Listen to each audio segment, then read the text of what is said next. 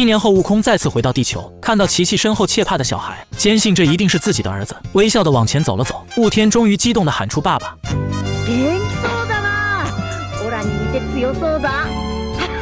武道会参赛人员开始进场，在路上，悟空对克林说：“还是光头好看。”克林无奈解释：“留头发是有原因的。”悟空这才反应过来，十八号竟也在。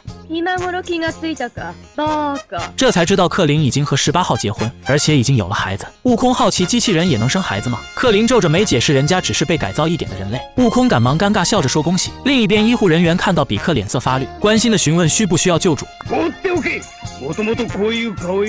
各种小插曲后，参赛选手开始做力量测试。主办方首先安排世界冠军撒旦先做示范。其实这都是撒旦一手安排，就想装逼而已。他一拳打在测试仪，打出一百三十七的高分，也确实有点东西，但跟后面的人比就不够看了。克林特意嘱咐十八号轻一点，谁知十八号轻轻一敲，直接打出七百七十四，这立马惊呆了众人。工作人员赶紧道歉，机器出了故障。调试一番后，十八号再次压低力量，敲出二零三。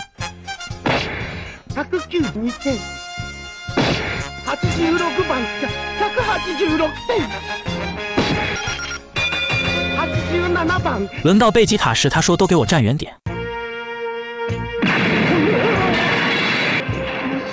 悟空捂头感叹他还是老样子，见悟饭根本不惊讶，比迪利很是疑惑。直到悟空上来打招呼，他才震惊，这些恐怖人竟都是悟饭的亲戚。首先开始少年组比赛，主持人隆重介绍，冠军会直接获得与撒旦比武的机会。不用说，这又是撒旦安排的秀。他帅气出场，结果脚一滑，直接摔个屁股蹲。见呼喊的观众顿住，他不要脸的赶忙站起，连称这是一个玩笑。观众竟相信，再次呼喊起来。这时，一个大型电视机飞来，离谱的竟要播放撒旦大战沙鲁的电影。电影内容丑化悟空众人，美化撒旦是正义的化身，把沙鲁打得跪地求饶。看完后，悟空等人简直颠覆三观。折腾半天后，比赛终于开始。首先，一个小孩把另一个小孩打哭，谁知哭的小孩竟生气，疯狂对另一个小孩猛捶。就这样，荒唐的第一场比赛就结束。第二场终于轮到特兰克斯上场，他将对战十五岁的大龄少年。这个少年很早就看特兰克斯不顺眼，并一再挑衅，心想这下终于有机会好好修理他了。寡言少语的特兰克斯上来直接一个扫荡腿，然后快速接上一脚将之踢飞，对方重重落地不省人事。特兰克斯获胜。小大人的他鞭策着刚才自己竟然发脾气了，我真是太孩子气了。雾天同样对战大年龄少年，没见过世面的他吓得瑟瑟发抖，乖乖的跟在对手后面上台。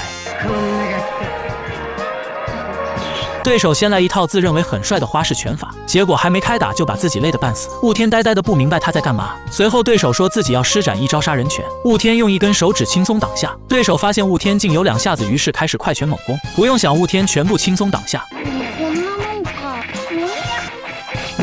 这轻松一拳，只把对方打的头都要掉下来，昏迷不醒。雾天获胜。最后，特兰克斯和雾天毫无意外的来到最终决赛。无聊的比赛终于精彩起来。